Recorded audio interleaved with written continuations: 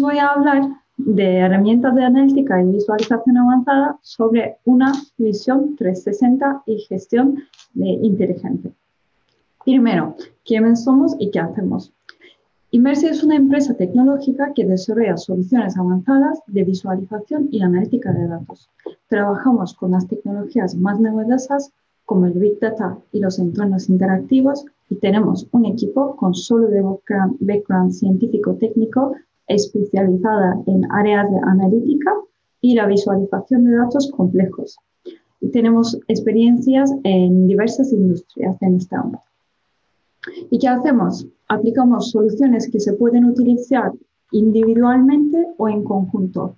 Para empezar, diseñamos cuadros de mando que se entienden y se que ayudan a tomar decisiones correctas en cada momento. Eh, centramos en los datos y KPIs que de verdad importan para visual claramente objetivos o las incidencias. Luego, gracias a la posibilidad de analítica de datos, podemos descubrir la información oculta en los datos que ayuda a mejorar eh, de toma de decisiones y la capacidad de reacción.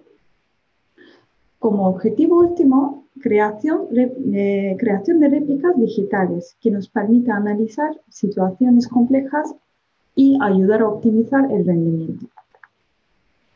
Como un ejemplo a estos cuadros de mandos, a estos Business Intelligence, aquí podéis ver un ejemplo de, de evolución de una escala tradicional hacia un dashboard interactivo y dinámico. Lo que incluye es una capa de inteligencia visual para que los datos se puedan expresar a sí misma mediante animaciones, códigos de colores, efectos audiovisuales, Imaginaos en un caso de que si salta una alarma en una de estas máquinas que vemos abajo, su modelo en el mundo virtual empieza a ponerse rojo, parpadeando, saltando, echando humo y la plataforma directamente hace zoom hacia la alerta para contarnos que allí necesitan nuestra atención. Estos tipos de dashboards son los más sencillos que podemos implementar y nos muestra el pasado y el presente de la situación. Sin embargo, también podemos mostrar lo que pasará en un futuro. Y para eso incluimos en nuestros dashboards analítica de datos que nos permite hacer predicciones. Lo que hacemos es cruzar información de distintas fuentes, tanto internas como externas, para componer los conjuntos de datos idóneos que permitan demostrar las hipótesis y lograr los objetivos.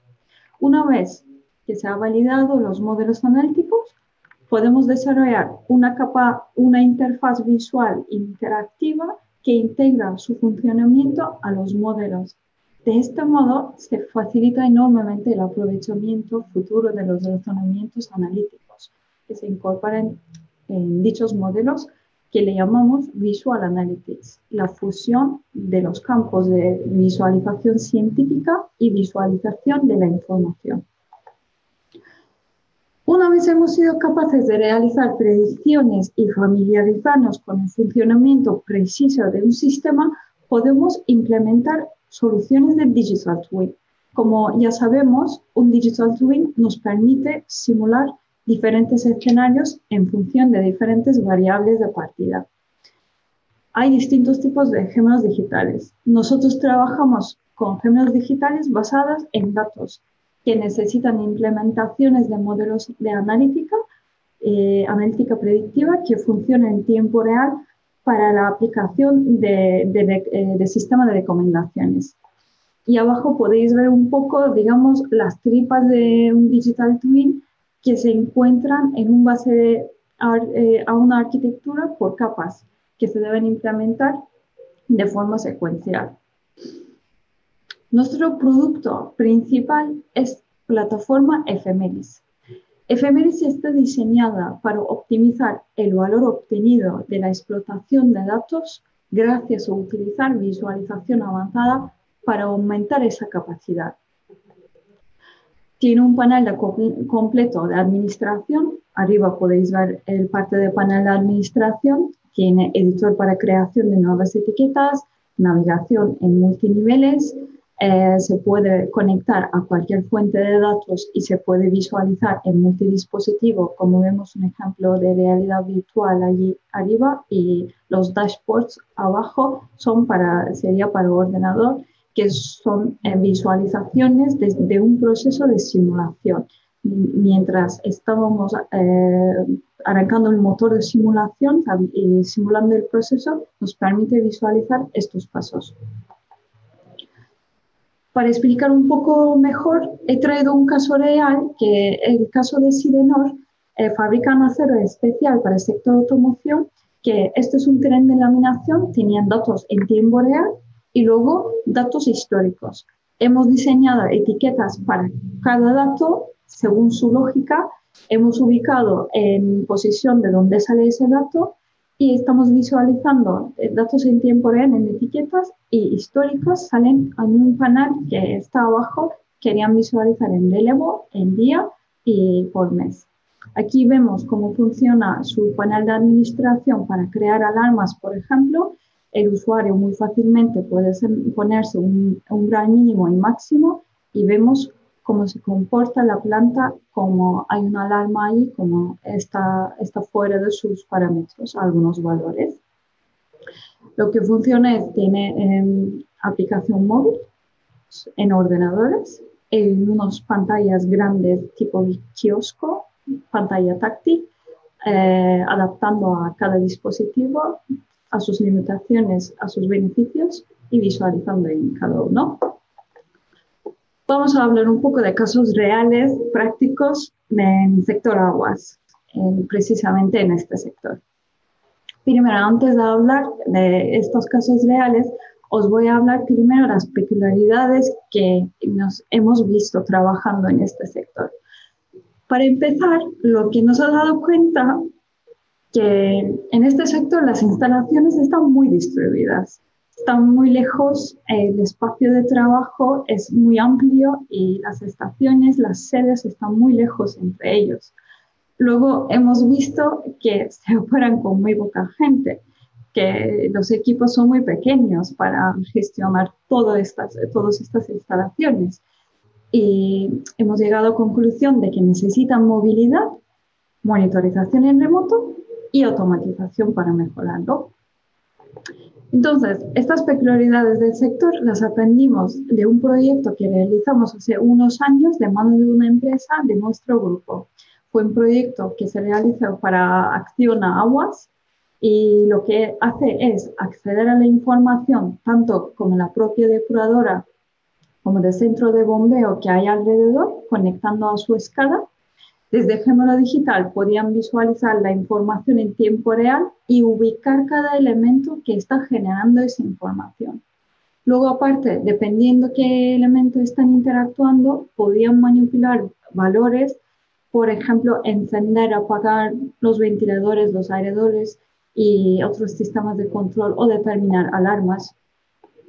Hicimos tres interfaces para acceder a este gemelo digital, que eran gafas de realidad virtual, capaz de realidad aumentada y una aplicación de tablet.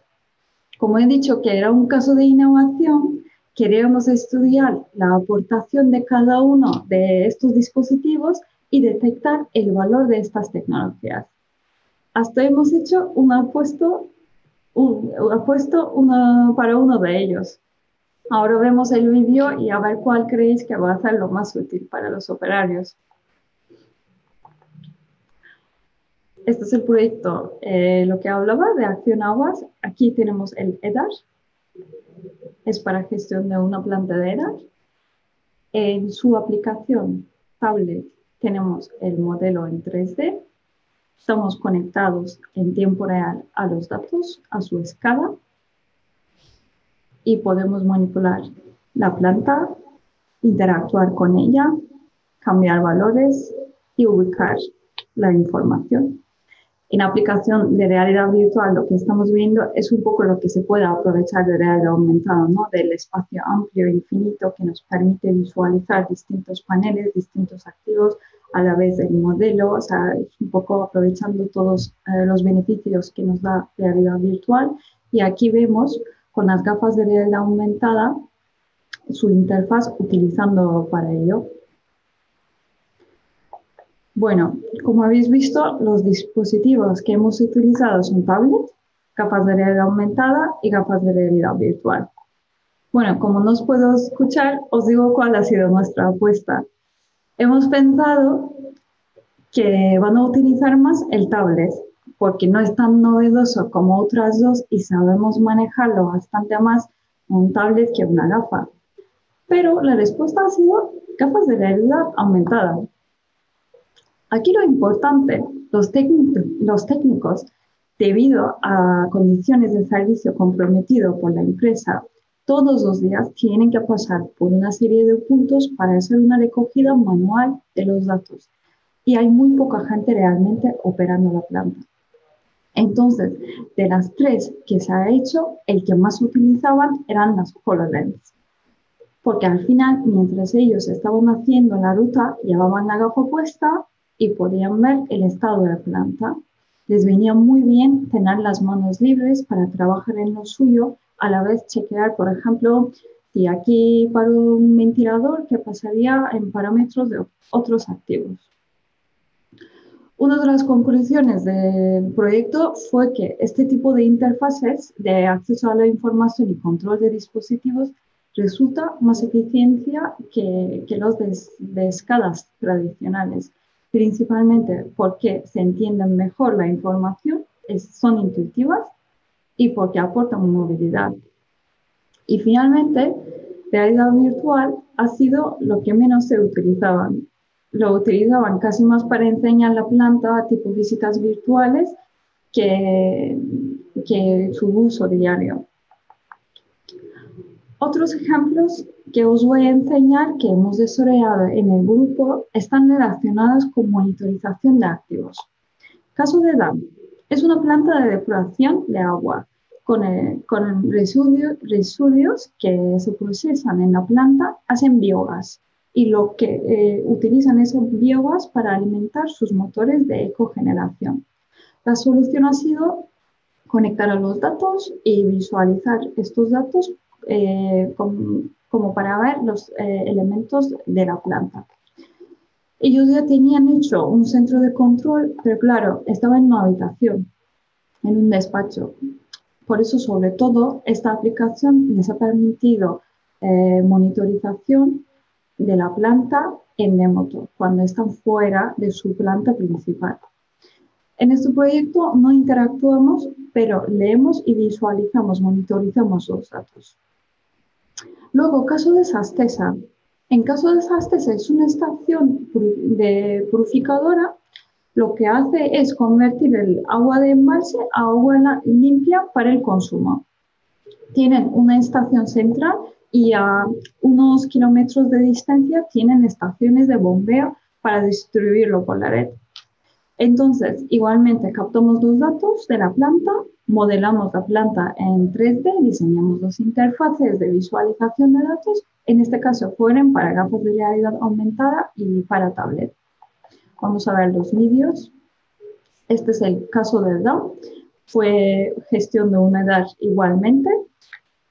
En caso de DAM, lo que hemos desarrollado es especialmente, es solamente para uso de tablet los tablets más industriales que utilizan. Podéis ver que pueden visualizar a la vez el modelo, datos, sus datos conectados en tiempo real y gestionar esta información en remoto cuando están en la planta fuera.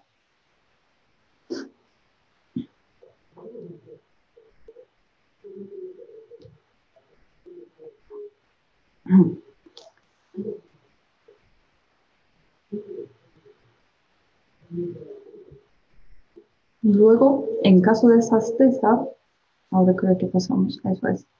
Esto es el eh, caso de sastesa. Eh, solución, el caso es parecido.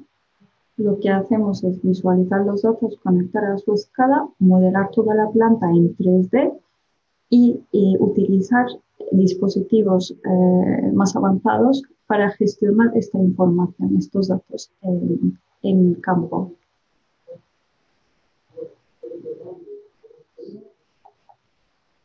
Bueno, ¿Qué beneficios hemos obtenido? Pues para empezar, acceso a la información. Como hemos dicho, hemos aportado movilidad. Luego, interacción con el sistema de productivo más intuitiva y más sencilla. Como hemos dicho, son más útiles que las escalas tradicionales. Luego hemos aprovechado las capacidades de tecnologías como realidad virtual, como realidad aumentada, teniendo manos libres, aprovechando ese espacio, estos entornos interactivos. Luego hemos mejorado el tiempo de respuesta porque la plataforma en sí está intentando comunicar con el usuario, el usuario cuando hay una incidencia y flexibilidad total para configurar la información, configurar alarmas, configurar lo que quieren visualizar en cada momento. Muchas gracias por vuestro tiempo. Aquí tenéis mis datos de contacto. Si, si os enfrentáis a estos tipos de retos, estamos encantados de escucharos. Gracias.